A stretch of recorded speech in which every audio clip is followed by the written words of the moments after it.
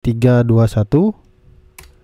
Nah, lihat di sini mengatur waktu si timernya setelah 5 detik lalu langsung instalasi rumahnya menyala. Melanjutkan di video sebelumnya ya. Jadi ada yang berkomentar, "Kang tolong tambahkan relay timer supaya nanti ketika tegangan dari genset itu bisa dijeda dulu sebelum masuk ke instalasi rumah. Bagaimana caranya? Bagaimana wiringnya?" Di sini saya sudah rakit dan saya akan jelaskan bagaimana cara kerja dari rangkaian ini.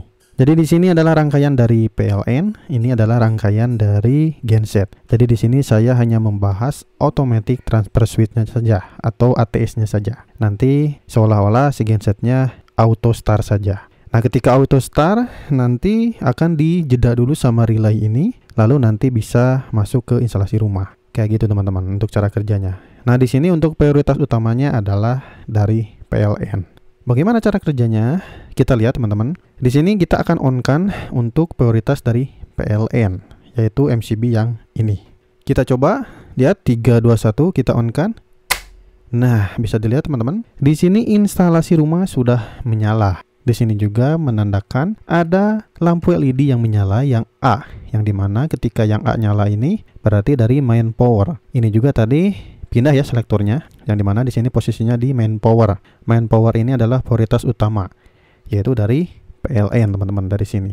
Nah di sini saya akan coba on kan yang dari gensetnya jadi nanti tegangan yang dari genset sudah standby teman-teman. Kita coba on kan ya 321 nah di sini tidak terjadi apa-apa. Karena apa? Karena di sini saya ambilnya ke NC yang ada di ATS ini. Jadi mainannya NC aja nih supaya apa? Supaya nanti relay timernya mati ketika PLN-nya menyala. Jadi gitu konsepnya teman-teman. Di sini seolah-olah tegangan gensetnya ada ya supaya nanti ada perpindahan di ATS ini. Oke, saya akan coba bagaimana jika si PLN-nya terjadi pemadaman. Yang terjadi nanti akan langsung di backup dari genset. Tetapi instalasi rumahnya tidak langsung menyala, dijeda dulu oleh si timer ini. Di sini saya setting 5 detik saja. Oke, kita coba ya. 3 2 1 Nah, lihat. Di sini mengatur waktu si timernya setelah 5 detik lalu langsung instalasi rumahnya menyala. Di sini juga ada perpindahan dari main power ke backup power. Di sini juga yang B menyala. Menandakan sekarang posisinya dari genset, teman-teman. Nah, di sini merah kan sudah nyala. Nah, pengennya saya ketika ini nyala tuh si timernya mati, tetapi itu harus menggunakan tambahan relay. Nah, berhubung di sini saya belum pakai relay, relay yang biasa ya, yang 220 volt AC, maka dari itu di sini timernya tetap on menyala ketika gensetnya kerja. Gak apa-apa kan biasanya pakai genset tuh gak lama-lama ya. Soalnya PLN juga kadang-kadang cepat gitu untuk menyala laginya. Nah, sekarang kan posisinya supply-nya dari genset nih. Jika posisi dari genset tiba-tiba si PLN-nya menyala, maka nanti si tegangan dari genset ini akan mati, timer juga akan mati, yang dari PLN akan prioritas utama lagi. Dan di sini untuk selektornya akan berubah lagi menjadi ke main power. Kita buktikan teman-teman, lihat. Tiba-tiba PLN menyala kembali 321.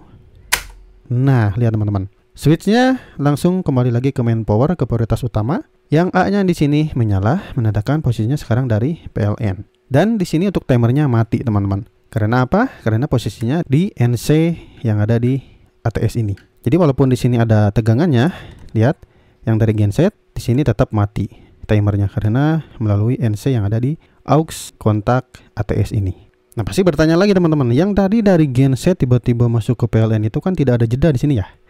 Ya walaupun ada kedipan sedikit, tapi seolah-olah tidak ada jeda, itu kan bisa merusak bang. Biasanya kan kalau PLN itu kalau pertama on itu udah lumayan bagus ya tegangannya, normal gitu. Jadi kalaupun tidak memakai jeda saat ke PLN tidak apa-apa gitu. Tapi jika teman-teman pengen menambahkan lagi yang paling bagus yaitu dari genset dijeda, dari PLN juga dijeda. Itu lebih bagus lagi. Mau kita buktikan? Oke, next video nanti saya akan memasang dua timer di sini. Jadi yang pertama gensetnya dijeda, lalu nanti ke PLN-nya juga dijeda. Jadi sama-sama aman gitu. Jadi istilahnya tujuannya buat apa ini? Kok dijeda kayak gitu? Nanti tujuannya biasanya untuk menstabilkan tegangan dulu. Jadi ketika mau backup ke genset itu tegangannya ditunggu sampai stabil 220 volt lalu masuk ke instalasi rumah. Biasanya ini tidak 5 detik ya biasanya lebih lama lagi gitu. Sekitar 30 detik atau satu menit. Sampai si tegangannya normal lalu masuk ke instalasi rumah.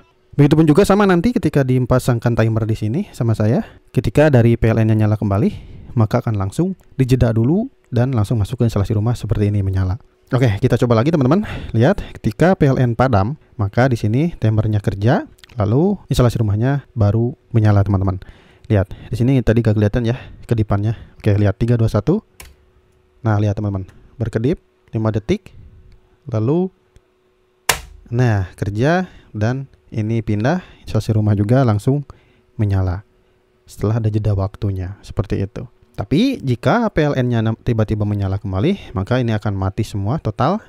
Ini pindah lagi backupnya ke main power, instalasi rumahnya menyala kembali. Lihat, 3 2 ke 1. Nah, langsung ke main power yang A-nya menyala di sini. Yang instalasi rumahnya tetap menyala, tapi tanpa jeda ya. Nanti kita next setelah video ini kita tambahkan untuk timernya di sisi PLN supaya makin mantep nih kan di sini di jeda di PLN-nya juga di jeda kayak gitu.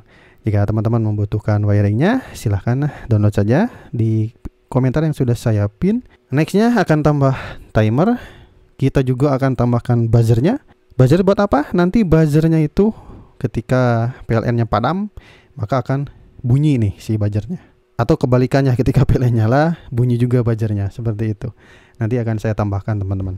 Tenang aja, kita belajar bareng-bareng supaya teman-teman pada paham.